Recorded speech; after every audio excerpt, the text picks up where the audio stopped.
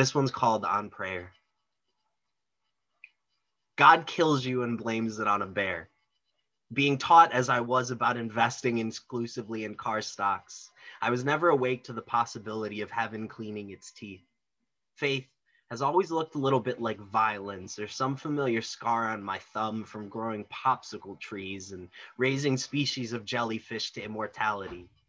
O God of algebra and muscles and schizophrenia, joy is a door I am kneeling before. I have scraped my fingers raw against its bark while begging to be let in.